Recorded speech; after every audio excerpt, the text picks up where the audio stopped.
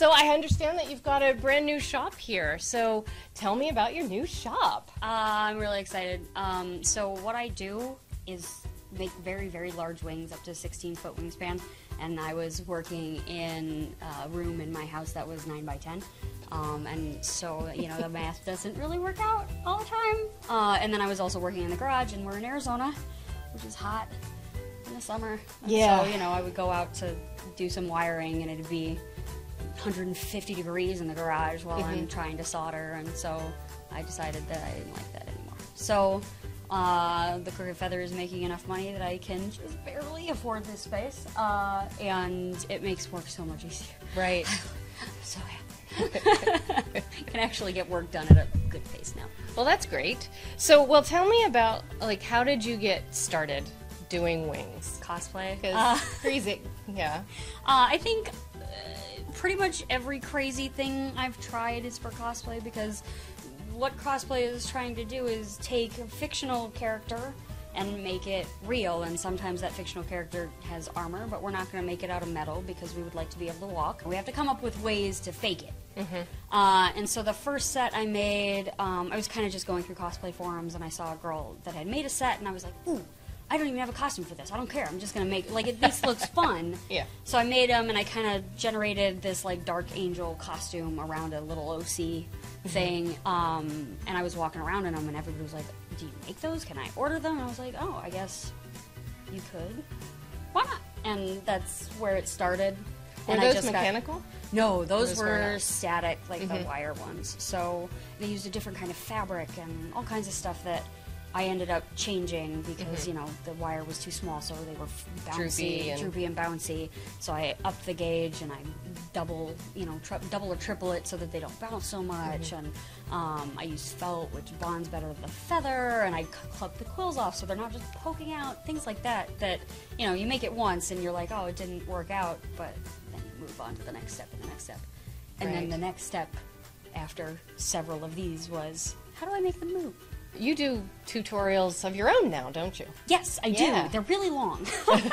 well, yes. uh, try and make them entertaining. Um, I try like for parts that are just time consuming. Right. Like I do a time lapse and Right. put some music on. And you don't. But need you don't to need to watch all that of that. You can watch just the feathers go on. Right. All right, so let's talk about your tattoo here for a minute. I've always wanted a wing tattoo. So- I but I pondered over it for probably ten years before I actually bit the bullet and did it because I'm very picky, Mm-hmm. and uh, I actually love birds um, and flight in general. So I wanted somebody who really understood bird anatomy because sometimes I see a tattoo and I'm like, that's not. What is that even? I don't Right. know what creature that comes from. Right. She tried to make it so that when I move my arms, like the bones move Kind of ac- with the- accordingly. Yeah, Wow. like they're supposed to pivot. But uh, so back so back to the original question. Yeah. Mechanics. I really, I I've always wanted wings, and I was getting to the point where people would ask me if I could make them move, and I'm like, I, well, probably, but I haven't figured it out yet. So I just went online and was looking for tutorials, and everything's really sparse on mechanical stuff, like mechanical wing frames, and you can get the mechanical wing with pulleys, but I needed to carry more weight, and um, Well, that's because a lot of people don't know how to do this electronic stuff. yeah. So I found a guy in Germany. Wow. think, Yeah. That had made a very, very. I mean, his are actually even still to this day better than mine. But um, he made a set with uh, electronics, and I couldn't find the right stuff. Like I tried to make it with electronics the first time, and I mean, it just fell to pieces because he used PVC, so I used PVC, and he made his own linear actuator, so I made my own. Like I just followed it the way he did it. So they just were slightly disastrous. Um, but I learned a lot from it, and so the next time I was like, okay, instead of PVC, which wobbles, I went with metal, and aluminum weighs about the same. Um, it's really, really light. And then the way he had his feathers pivoting was like with these plastic tubes, and he just like glued in wooden dowels. But then my feathers snapped because there's wood inside instead of wire. Three, I think I made three sets before I got to pretty much where I am now. Um, and yeah, I his design still lives on, at least in part, So, how did you learn how to do the electronics? Because that, wow. I built my first set uh, at a hackerspace. And, you know, I started the, and it's really great because half the people at the hackerspace are just hanging out, like maybe tinkering on something, but if they see somebody working on a cool project, they'll like walk over and help. And so that's pretty much what happened. I was like, all right, I need tools that I don't have. I'm going to go down to the hackerspace I'm going to start working on this.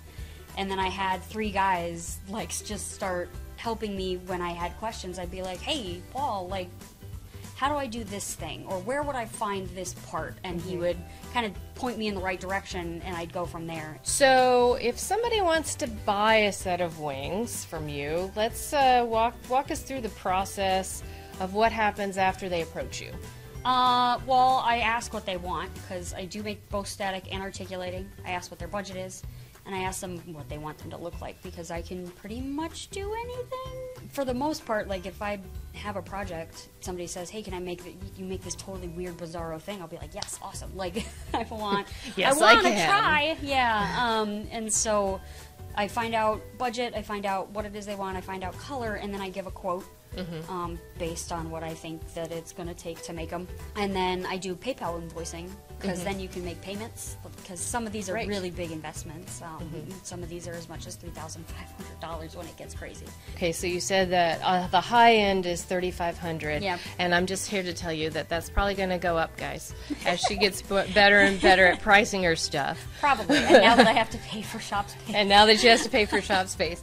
So, where does it start? Uh, I mean, I've made some for little girls uh, as low as a hundred dollars that are just like cute little whatevers because. Right. they take, you know, they Right. don't They don't move, though. they don't move. Yeah, not the moving ones. The Yeah. moving ones start. Um, I can do a little six foot pulley set.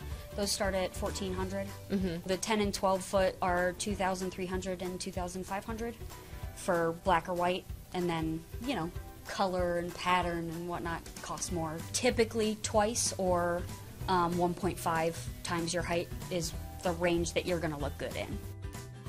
So, thanks for uh, having us in, Alexis, and showing us your wonderful studio. And uh, thank you guys for watching Costume Talk, and join us again. And remember, subscribe. Are we waiting? Bye. Well, Bye.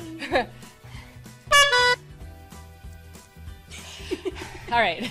Sorry. I'm having a moment.